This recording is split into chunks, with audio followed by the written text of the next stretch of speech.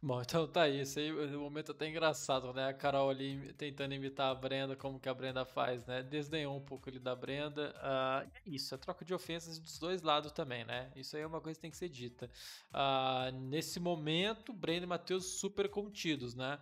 Uh, mas assim, quando não é um é outro, e, enfim, mas a gente sabe que, na minha visão, na minha humilde opinião, uh, Brenda e Matheus sofreram uh, mais para Carol e Mussuzinho, porque todo mundo vai lá e fica do lado de Carol e Mussuzinho, independentemente do que acontece. Entendeu? Assim como aconteceu com o André Naim, lembra? André Naim passaram do ponto muitas vezes, mas mesmo assim os casais ficaram do lado de André e Naim.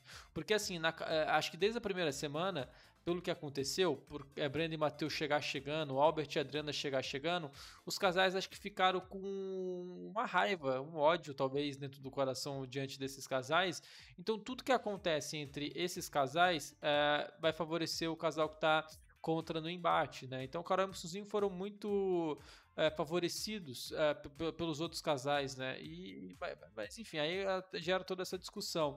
Uh, e acaba gerando ofensas dos dois lados, mas nesse momento aí é, tava gerando mais ofensas por parte de Carol Mussuzinho, né? A Carol chamando a Brenda de lixo e tudo mais, como sempre, né? O único argumento a única ofensa que a, que a, que a Carol tem é chamar a Brenda de lixo, e a única ofensa que o Mussuzinho tem pra Brenda é chamar ela de. Que é, é, insinuar que ela tem mau hálito, né? Basicamente é isso. Enfim, bora ler alguns comentários bem rapidinho aqui, ó. Jaqueline fala expulsão de Carol. Uh, Cristiano Oliveira, bem feito, ter se machucado. Quem com ferro, ferre. É, fere com ferro será ferido, né? Tá aí o ditado que a Cristiano Oliveira coloca aqui pra gente.